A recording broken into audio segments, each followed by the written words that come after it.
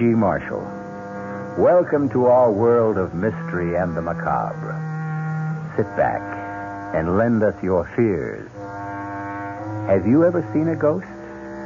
It is an experience of such horror as to turn your blood to ice. Oh, I know, I know, there are those who scoff, but they have never met a ghost. Our mystery drama, The Ghost Driver, was written especially for the Mystery Theater by George Lowther and stars Augusta Dabney and Mason Adams. It is sponsored in part by Anheuser-Busch Incorporated, brewers of Budweiser, and by the Kellogg Company, makers of Kellogg's Special K cereal. I'll be back shortly with Act One. Big bakes in the morning. Kellogg's, Kellogg's has that wholesome taste to get you up and grinning. This is Jerry Crawford for Kellogg's Special K. We've been having some fun in our television and radio commercials by using a ball and chain to symbolize the slight overweight problem common to so many of us. We point out that being a few pounds overweight is just a little more difficult for you. Climbing stairs, just walking around, even sitting down can feel, well, like you're wearing a ball and chain. In case you missed the message, it's this. If you really want to get rid of that extra weight, you really have to work at it by exercising and with sensible meals like the Special K breakfast. A one ounce bowl of Special K, America's favorite high protein cereal, four ounces of skim milk, tomato juice, and coffee. Less than 240 calories. Nutritious and, by the way, delicious. So why not begin each day with a Special K breakfast and then keep up the good work? Special K can't help you lose weight all by itself, but it really is a good start.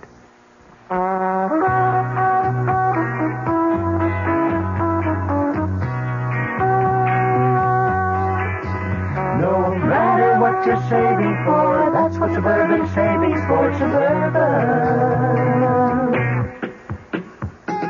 Suburban Savings offers you an easy way to borrow without touching a penny in your regular savings passbook account. Just let Suburban loan you the money. It's called Suburban Savings Passbook Loan. You can borrow up to 90% of the total amount you have on deposit at reasonable rates, and you can pay off your loan at your convenience. When your loan is repaid, you still have all of your savings intact, plus interest. So if you need money, why not take a loan from Suburban without touching your savings? Suburban Savings Passbook Loan in New Jersey at Bayonne, Edgewater, Elmwood Park, Emerson, Hackettstown, Morris Plains, Nutley, Paramus, and Sparta.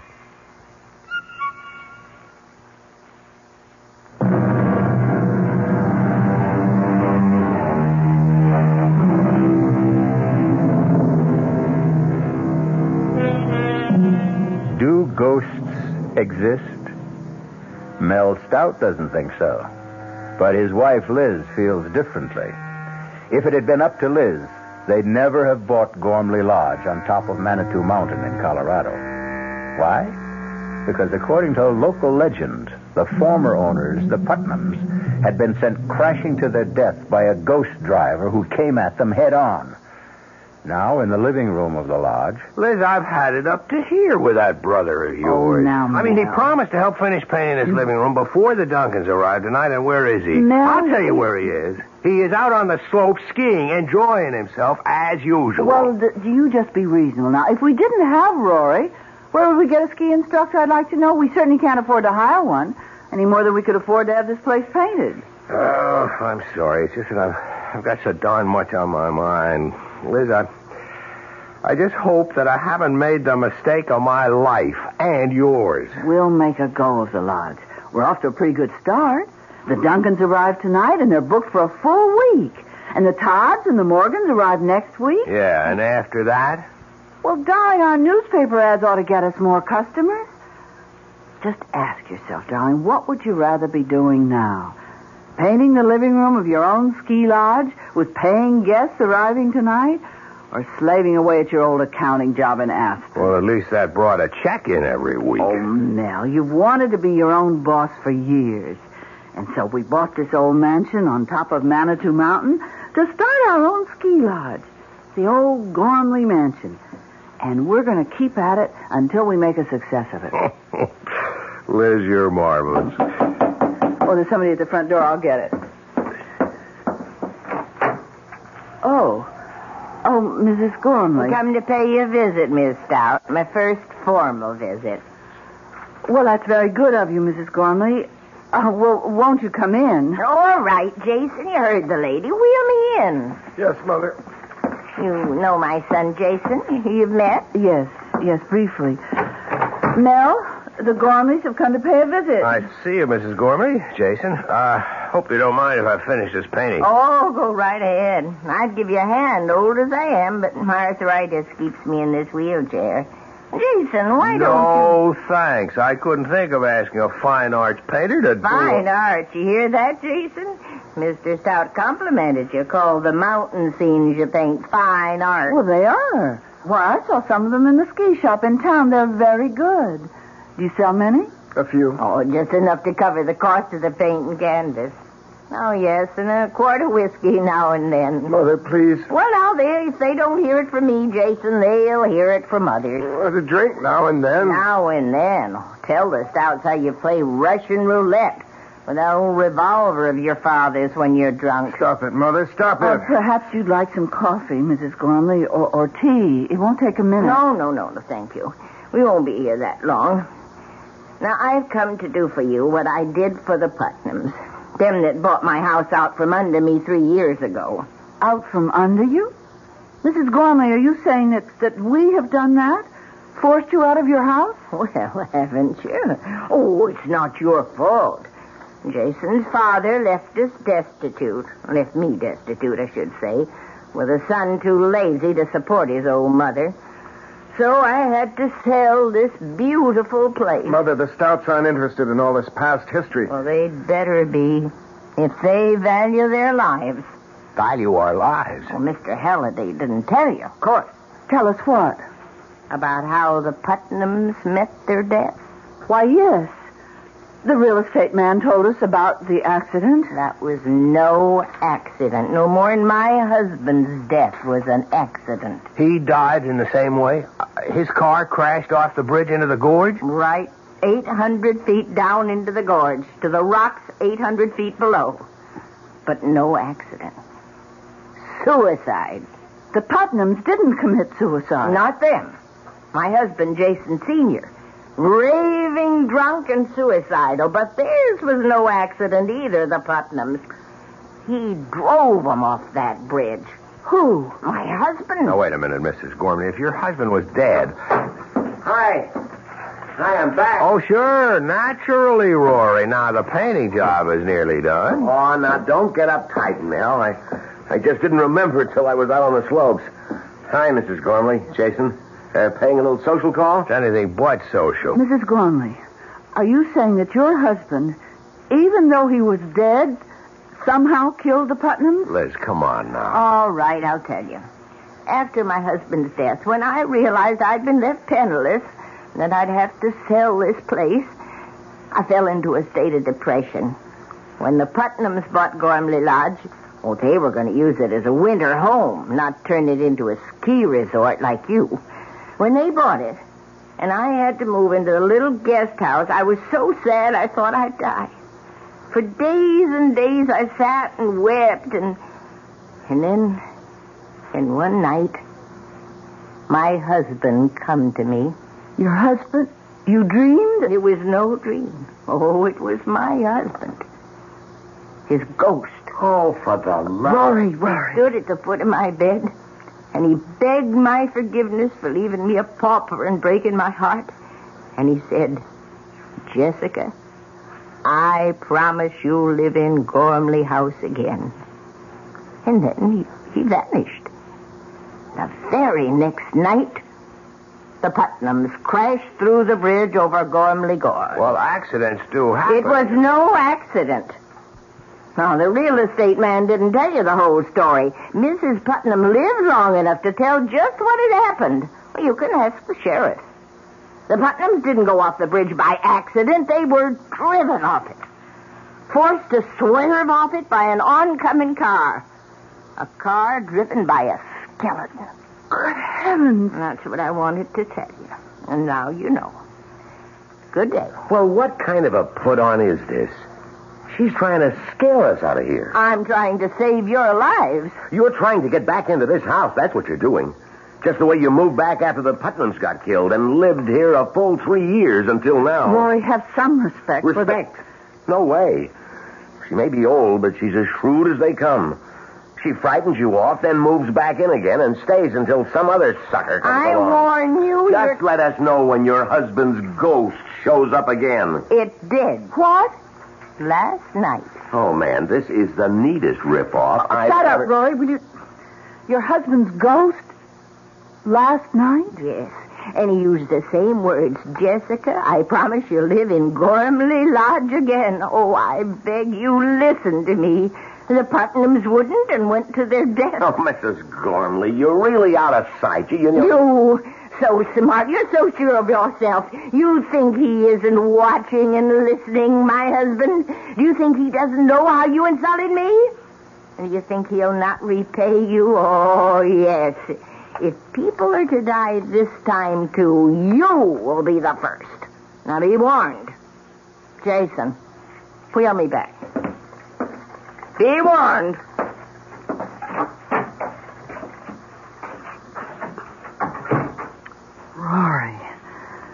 Shouldn't have talked to Mrs. Gormley like that. You didn't spring for that crazy story, did you? I don't know. I wonder. What, Liz?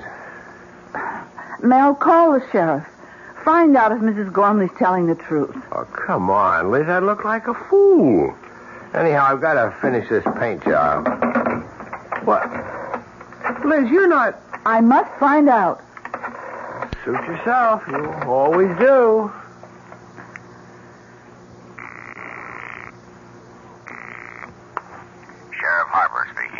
Oh, Sheriff, uh, this is Elizabeth Stout calling. We're the new owners of Gormley House. Oh, oh, yes. What can I do for you, Mrs. Stout? Well, we just had a visit from Mrs. Gormley. Oh? What do you mean, oh? Oh, nothing, Mrs. Stout, only she can be a little hard to take. Getting on in years. Yes, well, what I wanted to ask you. Of course, you remember the accident to the Putnams three years ago, crashing off the bridge over Gormley Gorge. Yes, yes, I remember. Well, according to Mrs. Gormley, Mrs. Putnam lived long enough to tell you what had caused the accident. Is that so? Uh, yes, it is. And what did she tell you? Well, now, Mrs. Stout, she was near death. Maybe out of her head with pain and shock. What did she tell you, Sheriff? Did she tell you that they had been forced to swerve off the bridge because of another car that came straight at them? A car with a skeleton driving it? Well, as I said, she was out of her Did head. she? Yes, that's the story she told me. Thank you. Goodbye. So? Mrs. Gormley told the truth. The Putnam woman was dying. Anybody in that condition is liable to say anything. I suppose. Now look, just just just get off it, Liz. We put our life savings, every cent we've got in this place, and I'm not leaving, ghost or no ghost. Well, speaking of leaving, I'd better get on down into Manitou and pick up the Duncans at the airport. Well, it's a bit early, isn't it? Or have you got some cute chick in town that you'd like to spend an hour or so with? Mel, you put me away. Don't give me any ideas, Rory. Well, it's a bit early, isn't it? Or have you got some cute chick in town that you'd like to spend an hour or so with? Mel, you put me away. Don't give me any ideas, Rory.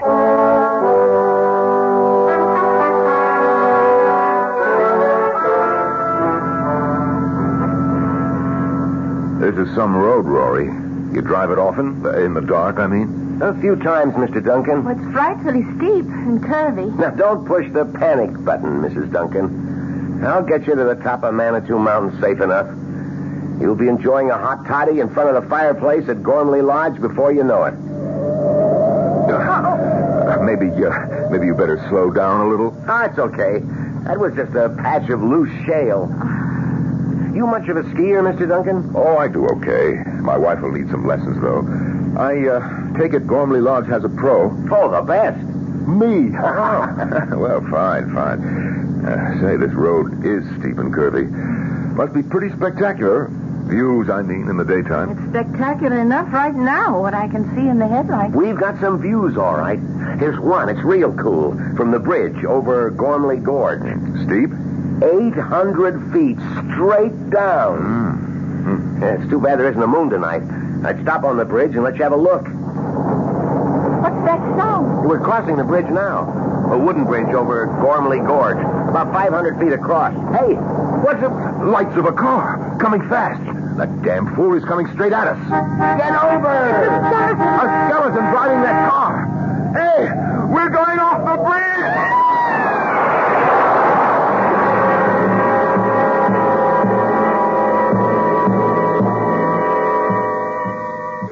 I'll be back shortly with Act Two.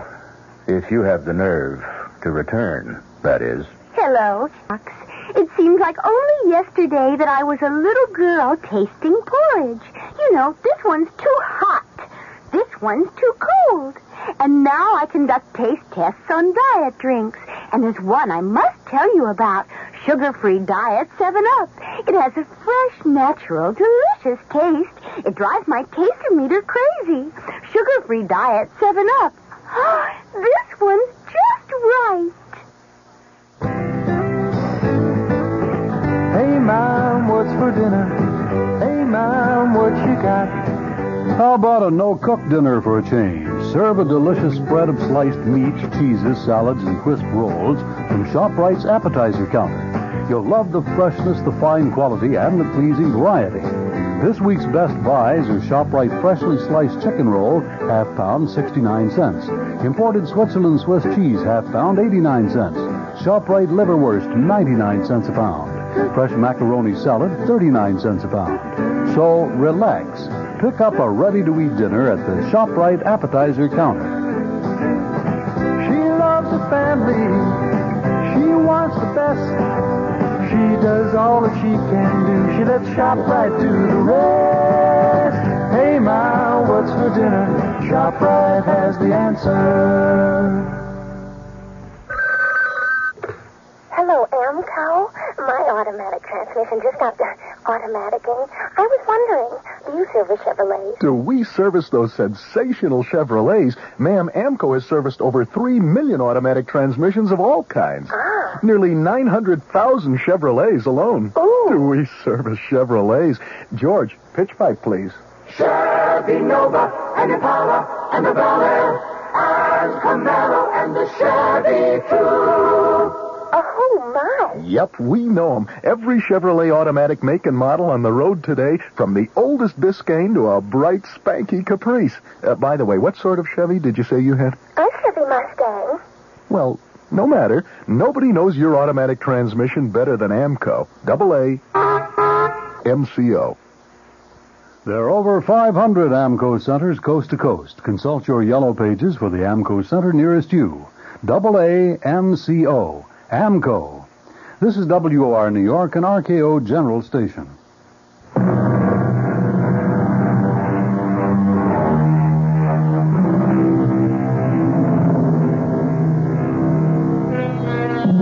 Terror, unless you have experienced it, is only a word. I could employ all the art at my command, my voice, the words I choose, to convey to you the full impact of terror.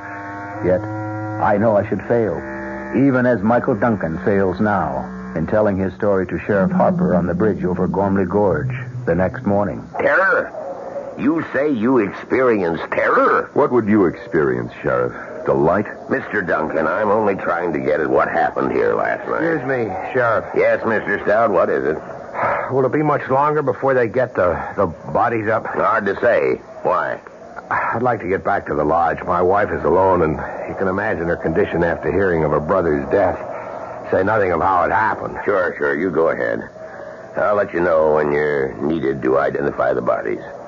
I'm sorry about your brother-in-law, Mr. Stout, and the publicity. Publicity? And this is the second time the ghost driver has struck. Ghost driver. And the news has got out. I hear they're sending reporters over from Aspen. That's great. That's just what I need. That'll end my ski resort business for good. Not that it ever got started. Uh, wait a few minutes and I'll ride back up with you. Nothing I can do either till they recover Jill's body. Oh, yes, there is, Mr. Duncan. You can give me a full account. Now, look, Sheriff, I've told you all I know. We were driving across this bridge when we saw this other car coming straight at us. Stout's brother-in-law was driving.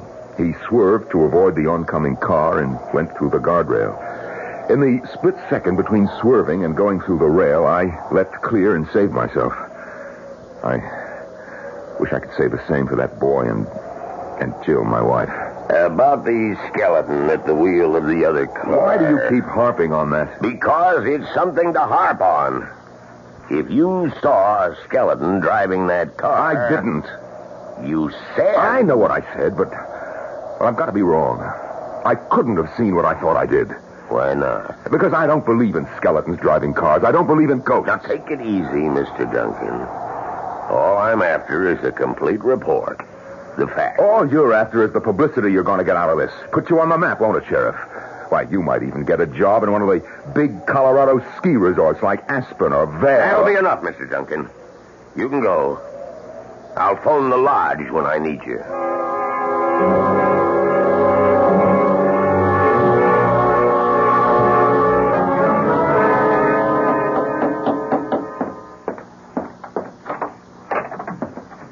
Gormley. Well, invite me in, Miss Stout. Oh, y- yes, of, of course. Uh, yes, I'm.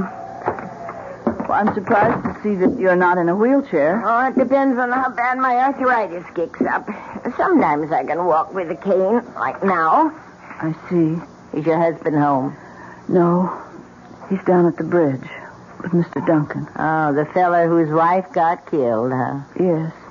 Well, I'm sorry about that. Sorry about your brother, too. Even though he asked for it. Mrs. Gormley, I, I, I, Your I just brother's dead because he wouldn't listen. He wouldn't heed my warning. Now you listen, child. You heed my warning. Make your husband listen and take warning too. You leave this place. Leave it today. Don't think I wouldn't. We wouldn't if we could. But we can't. All our savings are tied up in Gormley oh, Lodge. Listen to me, listen. Now, my dead husband came to me again last night. And he promised me again I'd return to this house. You love this old house, don't you? Well, it was my life. You're a woman. You understand how that is. Yes. I came here a bride 40 years ago. Jason, Senior, that is. He was just starting his career as a painter. Jason, my son, was born here. There was another child, a little girl. She died here. No, this house isn't made of wood and stone. I'm sorry. I'm so sorry. Oh. Oh, I think they've come back. Yes.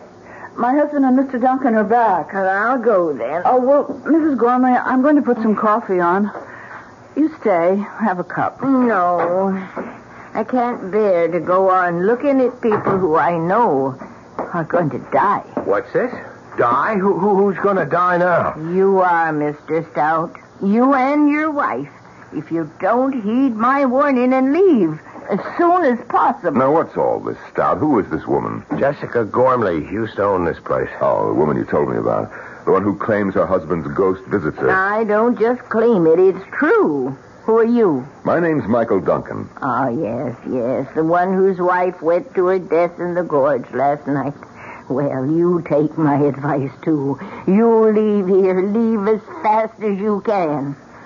How about a drink, Stout? Oh, so you two won't listen. The ghost driver killed your wife last night, and yet you won't listen. Well, let me warn you once and for all. You... What was that? A shot. It was a gunshot. Jason! Oh, it's happened. He's killed himself. Oh. She's fallen. Liz, help her up and keep her here. Duncan, you come with me.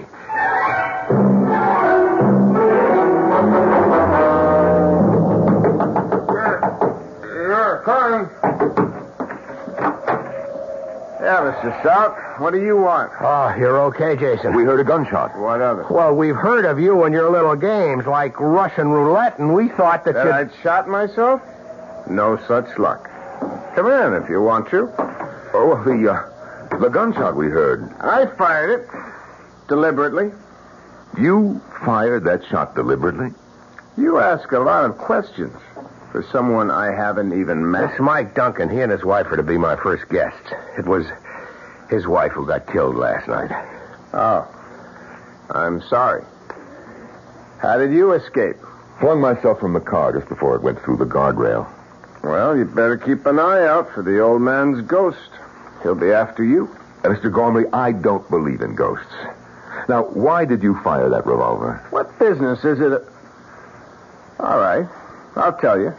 You'll think it's nutty. I'm sure. I've been playing Russian roulette with this gun for years, ever since my father died. And I always win. Or lose, depending on how you look at it. And how do you look at it, Jason? I give it to you straight, Mr. Stout. I want to lose. For years now, I've picked up the gun like this. Oh, no, not every day. Maybe once a week. Once every other week. Whenever the mood comes on me. And I put it to my temple. Like this. Wait a minute. Don't worry. Gun's empty. I haven't put in a fresh bullet yet. You see, the reason I deliberately fired that bullet I had in this gun was to find out if the thing was a dud. It wasn't. Too bad.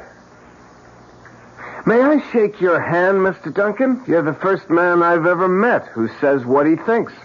You want to kill yourself? Go ahead. I like you. You do speak your mind. And now, gentlemen, if you'll excuse me, I've got to get back to this painting of mine. By the way, what do you think of it? Pretty lurid, isn't it? That's just the right word for it, Mr. Stout. See? There's the car swerving and crashing through the bridge.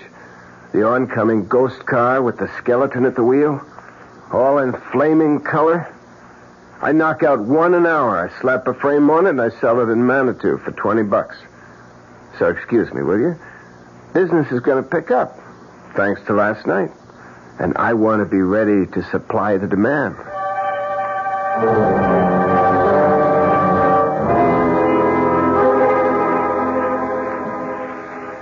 Uh, it's been a rough 24 hours, Miss Stout. It's a nice chair. Just right for sitting in front of a fire. Cost you plenty, I'll bet. Yes, plenty. But that isn't what I'm thinking about. You're thinking about your brother and my wife lying in their coffins at the Undertaker's in Manitou. Yes, and also that even a small village like Manitou has an undertaker. Birth, death, taxes. The only sureties in life, Mrs. Stout. Les. Mike. I, uh, I like your husband. Me too. He told me about everything. About what getting this ski resort means to you. Your life savings invested, all that.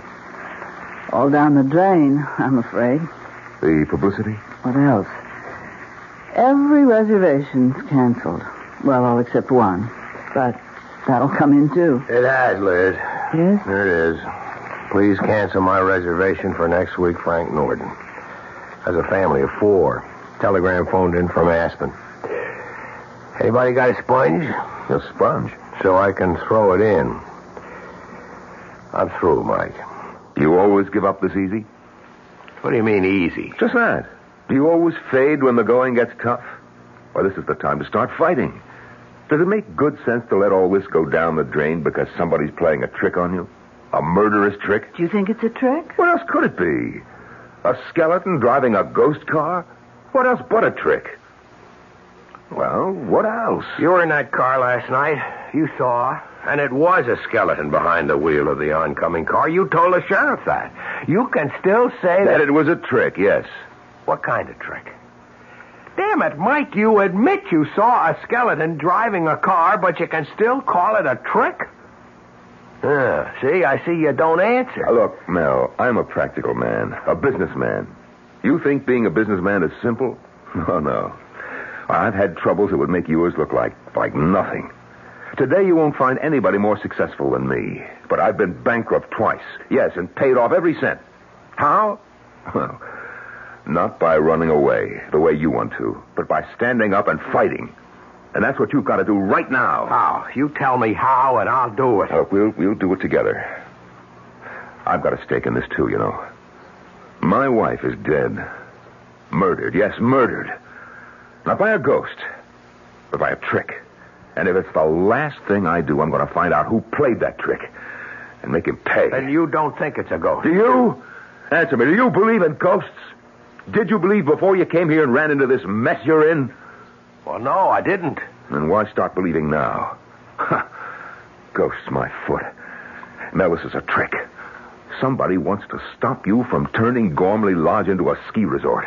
And if you ask me, it's the Gormleys. One or the other or both is behind all this. Or that sheriff down in Manitou. The sheriff? Oh, Mike, you don't really think that the I don't know what to think, Liz. All I know is that somebody's behind this, and those are the three likeliest suspects. Now, look, I'm, I'm no Sherlock Holmes, but I've got a brain, and I've got guts, and, and, well, my wife is dead, my, my Jill. Well, I, I'm just going to find out who killed her, that's all. The tougher they are. You like a drink, Mike? No, no, no, thanks. I'll be okay. Especially when I nail that murderer. What, what have you got in mind? Well, it'll be dark in about an hour. We take the car, Mel, you and me.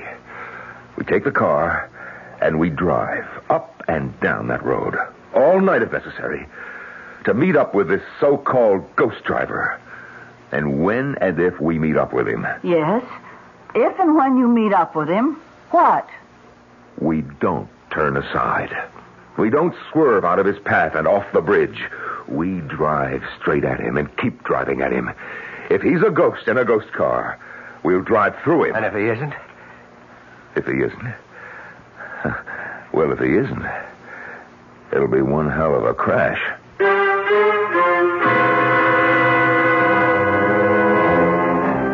You, you out there listening, what would you do?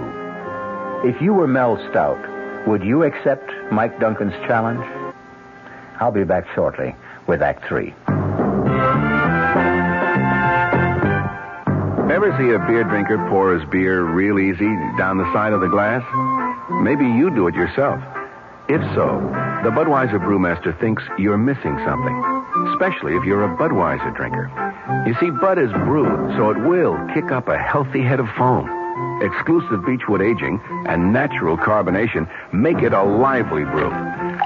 Well, anyway, pouring Bud plunk down the middle of the glass helps bring out the best in that clean white Budweiser foam and real beer aroma. It also helps you get the full benefit of a taste, smoothness, and drinkability you'll find in no other beer at any price. Remember, brewing beer right does make a difference.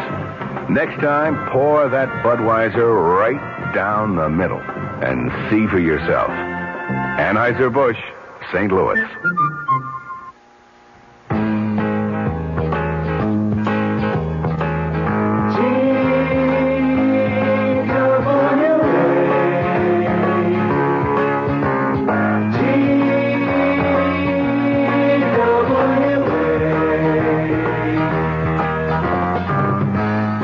If you you couldn't afford to fly to California this summer, TWA has some good news for you. You can. Thanks to TWA's demand schedule service, you can fly to California for only $125. Just make your reservations 90 days before you want to go and put down a $20 deposit for each way. For all the details, call your travel agent. TWA's demand schedule service. Now you can afford to fly to California.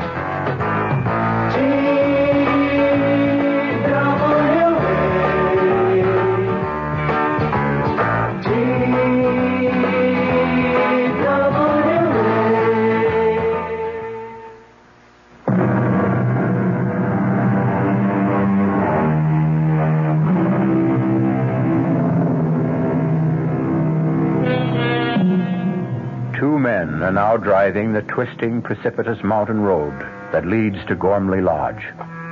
One, Mike Duncan, believes that the ghost driver they hope to meet is nothing but a trick. Mel Stout, his life savings, every penny at stake, has had no choice but to go along. Mike, I'm bushed. Let's make this the last trip. Uh-uh. We're going to drive up and down this road till dawn. Yes, and night after night if we have to. Until we meet up with our so-called ghost driver. This is the sixth time we've been up and down this mountain road. Okay. Pull over. I'll drive. Get out your side. I'll slip behind the wheel. Yeah. Hey, there's a car coming up behind us. Red light flash. That must be the sheriff. There's the sheriff, all right. And Mr. Stout. Oh, and you, Mr. Duncan. What are you doing here, Sheriff? Well, that's what I want to ask you. I got a report from Mountain View House across the valley there that they were seeing headlights going up and down this road. Guess I don't have to tell you everybody around here's on edge after what happened last night. Now, what are you up to? We're not up to anything, Sheriff. We're driving this road in hopes of meeting up with whoever or whatever killed my wife and Mr. Stout's brother-in-law. Get yourselves killed in the bargain? Oh, no. You drive on up to Gormley Lodge, and when you get there, stay there. You make that sound like an order, Sheriff. That's what it is, Mr. Stout. Well, I, I guess we better do like he says, Mike. I don't think so. Oh, you don't? No, I don't. This is a public road. We've got a right to be on it. Unless we're doing something that breaks the law, and we're not. You're a kind of troublemaker, Mr. Duncan, aren't you? Sheriff, I never go looking for trouble, but I know how to handle it when it comes my way. Now, either you arrest us for breaking some law or other, in which case you'd better be prepared to back it up, or I'll sue the town of Manitou and you for false arrest, or get off our backs. I'm not on your backs. I'm trying to save your lives. Take my advice. Advice, huh? I thought it was an order. All right, wise guy. Have it your way. Go ahead and get killed and and be damned to you. Uh, let's go, Mel. You can sure sound tough, Mike. Well, no small town sheriff pushes me around. Well, he's only trying to do his job. Maybe. And maybe not. What do you mean? I don't know. But that's what we're going to find out. Tonight, tomorrow night, or whenever. Now, there's the bridge ahead. Yeah, maybe you better slow down. No. If it's a ghost, we'll go through it. If it isn't... Mike, headlights coming toward us. Now, look, don't lose your nerve. Coming closer. We're going to crash if you don't... Mike!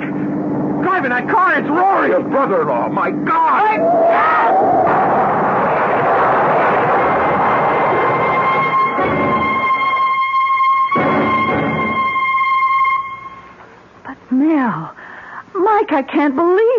I can't believe it myself, Liz. Not only what we saw, but getting out of it with our lives. The fates were with us, Mel. I, I lost my nerve. I have to admit that. I just couldn't keep driving straight at that that awful thing coming toward us. I, I couldn't help myself. I, I swerved at the last second. Well, thank God we hit that stanchion instead of going off the bridge. Rory driving the other car. It's impossible. Rory's dead. We're burying him tomorrow. Rory's dead, that's for sure. But it was Rory driving that car, that's for sure, too. Then, then ghosts do exist? Mel? That's what? After the funeral tomorrow, let's get out of here. Let's go away from this place as fast as we can. And go where? Oh, back to Aspen, of course. Liz, we're broke. We haven't enough dough left for a motel room. Where would we stay? How would we live? Uh, Mel, I, I, I didn't know things were that bad for you. Putting this place back in shape cost me just about every penny I had. Well, look, uh, would a loan help? You, you'd be willing to... Oh, sure. I like you two, and, well, the way things turned out, we've gotten to know each other real fast. Practically friends. So, well, if you can use a loan. That's generous of you, Mike. it is, it is generous of you, Mike, and I appreciate it, but no, thanks. What'll you do? Do what you said I ought to do. Fight this thing.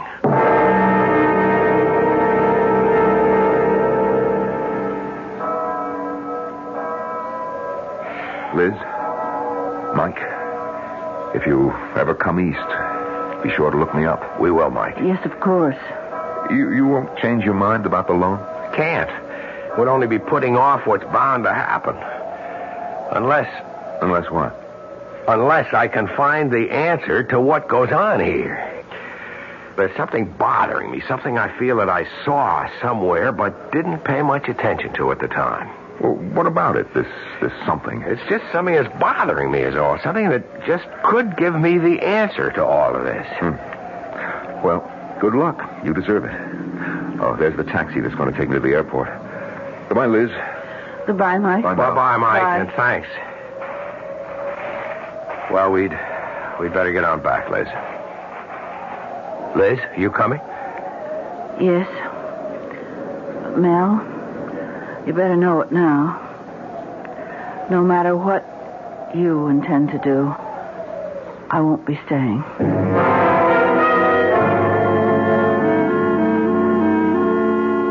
Mel, we've got to face the facts.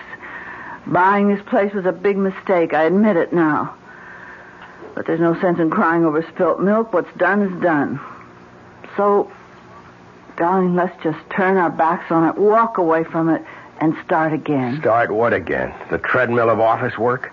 The dreary day-to-day monotony of auditing accounts, toting up figures? I can't bear to go back to that kind of life. I have got to make a go of this. I don't have any other choice. But is it worth your life? Ghost or no ghost, Mel, it's killed four people. It would have been six if you and Mike Duncan hadn't been lucky enough to hit that stanchion. And it will be six if you insist on driving that road again tonight. Six? How, how, how do you make it six? You don't think I'm going to let you do it alone, do you? But at the funeral, you said that you said that, that you weren't even going to stay. Because I hoped that would change your mind. But it hasn't. So you see, I have no choice either.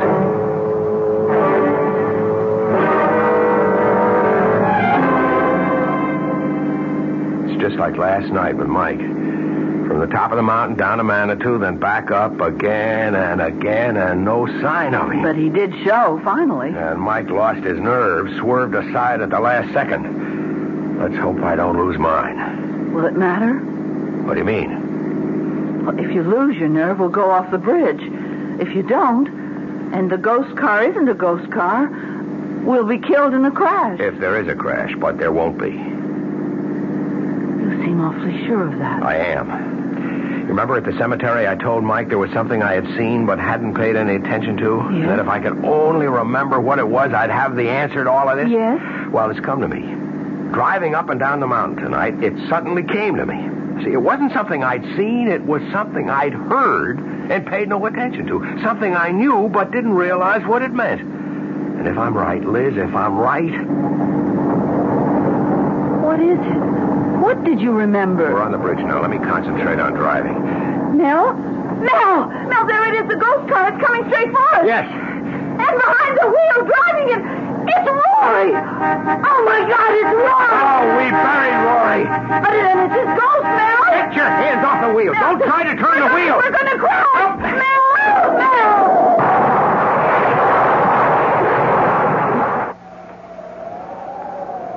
Mel? What? What? This time he swerved and he went off the bridge, just as I knew he would. How? How did you know? Later, Liz. Right now, we better get up to the lodge and phone the sheriff.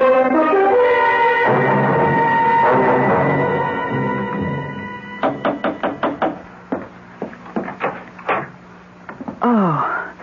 Oh. Come in, Mrs. Gormley. Mel?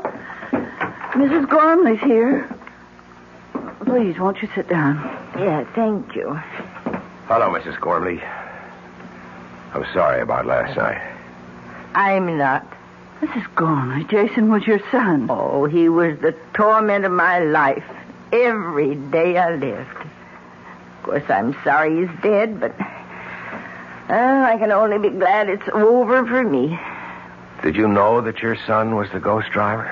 I suspected, but I was never sure. You see, it was Jason who wanted to go on living here in this house far more than I did. Oh, you can understand. He was born here. He grew up here. Started his painting career here in a fine, big studio upstairs. Tragic. Just tragic. Even more tragic if it hadn't been for you. How did you come to know? What made you realize that my son was the ghost driver? A gunshot. A gunshot? The shot he fired to see whether the bullet he used for playing Russian roulette was live or not. Well, I don't, I don't follow you. You see, something kept bugging me, Mrs. Gormley, but I, I couldn't nail it down because I kept thinking it was something that I'd seen. But then suddenly I realized it wasn't something I'd seen, but something I'd heard. That gunshot. I, I still don't. it, it, it got me to thinking about Jason playing Russian roulette, playing with life and death. And that got me to thinking a step further. Sure, Russian roulette. Only a fool or a would-be suicide would play it. But the fact remains that the odds are in his favor. Every time Jason spun the barrel of that gun and pulled the trigger, the chances were five to one against firing the bullet. Oh, but, but what was the connection between that and, and the ghost driver? Driving a car straight at another car is just another form of Russian roulette. Ah, yes, I see. Well, Sheriff Harper came to see me, and he said Jason was wearing a mask, a paper mache mask of your brother's face. Yes, and it wasn't a very good likeness of my brother, but it didn't have to be. It looked enough like him to fool you when you saw it under those awful conditions. The night and the headlights and and the car coming straight at you. Fear did the rest. There must be another mask, the skeleton face. Oh, there is. We, we, we searched the studio and we found it, Sheriff Harper and me. Yeah, well, it's all over. Jason's at peace at last. God knows I soon shall be. Well, good day. Funny, though. What, Mrs. Gormley? Well, we've searched and we've searched, but we couldn't find a mask of my husband's face. What made you think there was one? Well, you see, when I heard about the masks, I thought it must have been Jason who came and stood at the foot of my bed, not my husband's ghost. But if it wasn't Jason, who was it? What was it?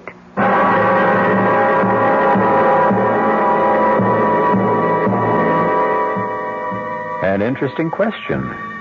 What was it indeed? I'll be back shortly. Hi, Ms. Goldilocks here.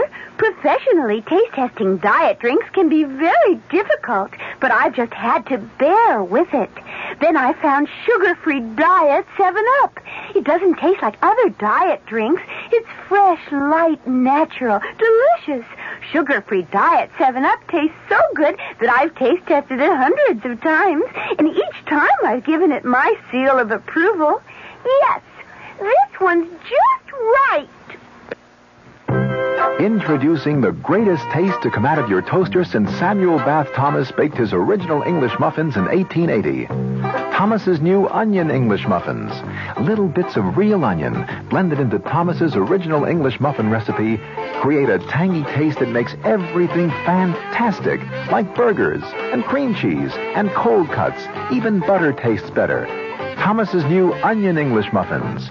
The greatest new taste since 1880. Thomas's promises. Hey, Pat, how tall do you think she is? 300 feet if she's an inch, Luigi, and a fine lady she is. The year 1886. While most New Yorkers were enjoying their first look at the Statue of Liberty, a few were enjoying their first taste of Thomas's bread and discovering it was every bit as delicious as Thomas's English muffins. Today, there's still never been a lady to equal the lady, or a bread to equal Thomas's protein, whole wheat, and white bread. Thomas's promises. Here's news from Queen Elizabeth II. Now you can sail to Europe on Queen Elizabeth II and fly home free. I'll repeat that. Sail to Europe on Queen Elizabeth II and fly back to New York free. She reaches Europe in five luxurious days. You have ample time for touring because you fly back. Meals and entertainment on board are included. A whole new crowd of people are discovering Queen Elizabeth II because she's affordable and she's fun. She has nine bars, four swimming pools, three nightclubs, a discotheque, a gymnasium, a sauna, a casino, and three of the finest restaurants in the world. Sail first class grades A to H and fly home free. Sail tourist grades L to Q and S to U and fly home half fare. Flights are British Airways economy. You can stay in Europe up to 16 days. Call your travel agent or Cunard at 212-983-2510. Sail to Europe on Queen Elizabeth II and fly home free. Great ships of British registry since 1840. Our cast included Augusta Dabney, Mason Adams, Mary Jane Higby, Norman Rose, Nick Pryor, and Leon Janney. The entire production was under the direction of Himan Brown. Radio Mystery Theater was sponsored in part by new sugar-free diet 7-Up. This is E.G. Marshall inviting you to return to our Mystery Theater for another adventure in the macabre. Until next time, pleasant dreams. The preceding Mystery Theater program is furnished by the CBS Radio Network. This is WOR New York. I'm Fulton Lewis in the Mutual Broadcasting System studios in Washington, D.C. Now, my commentary. The chairman of the House Judiciary Committee said today he expects his panel to go along with President Nixon's request of today, a request for an additional five days to reply to a subpoena for 42 Watergate tapes. New Jersey Democrat Representative Peter Rodino said that he and the ranking Republican member of the committee had agreed to the postponement, and in Rodino's words, I am quite confident the members of the committee will go along with it too. He told a news conference the matter will be taken up formally by his committee on Thursday. That's the day the uh, response to the committee subpoena was due. The delay requested by the White House today would put off the response until next Tuesday.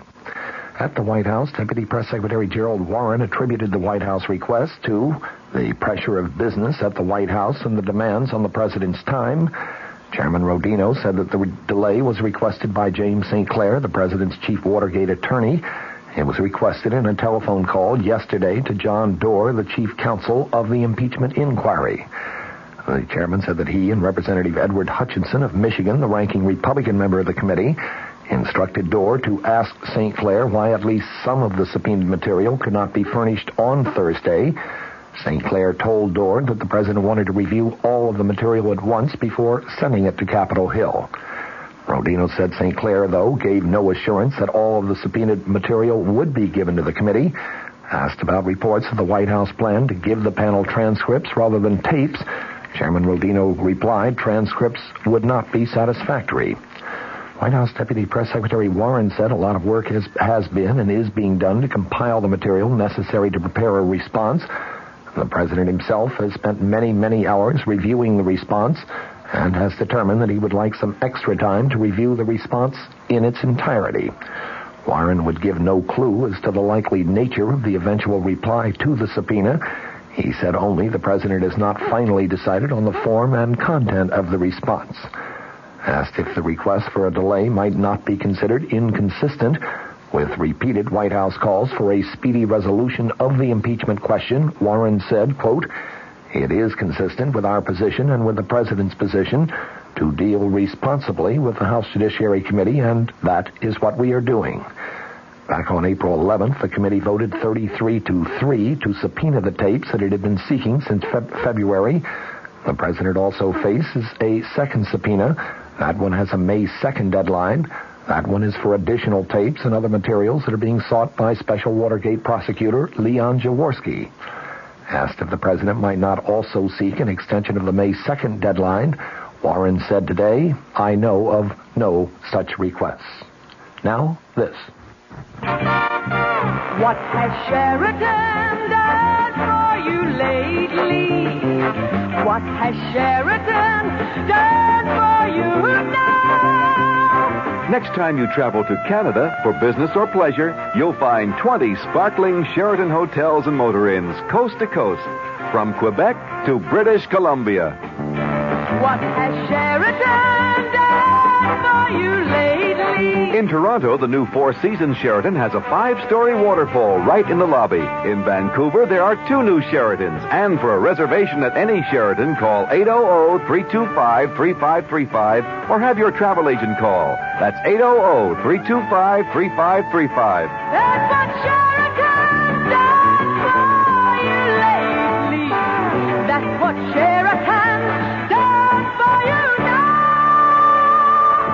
Sheraton Hotels and Motor Inns worldwide.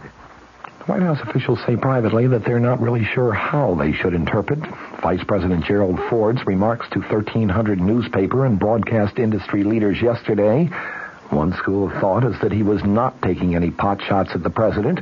Others, however, read into his comments a significant break from Mr. Nixon on the Watergate tapes issue.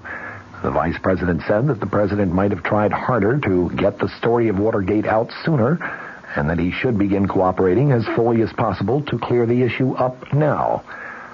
A committee subpoena for tapes and documents, of course, was due uh, Thursday, but the request has been made now to postpone that till Tuesday. Ford, in his speech yesterday, said, It's pretty hard to put yourself back into the shoes of somebody else in a situation like this. I do read the newspapers very extensively. I could not have been oblivious to some of the things that were going on that has taken place or has transpired.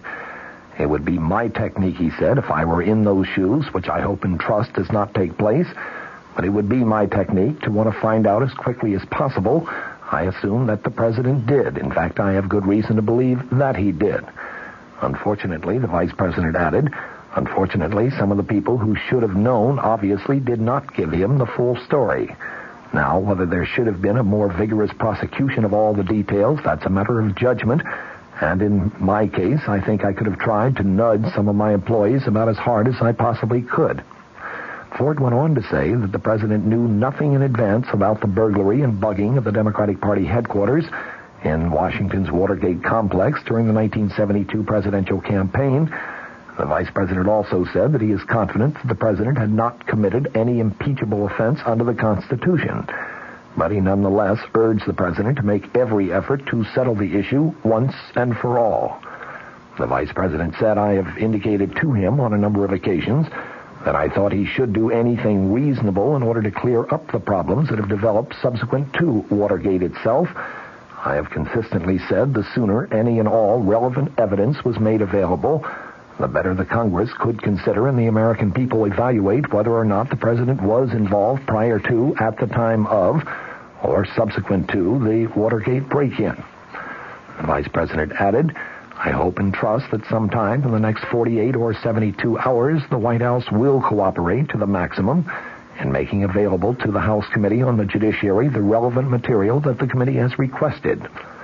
He drew applause from his audience when he added, I strongly believe that to be the right course of action, and I hope and trust the decision follows that pattern.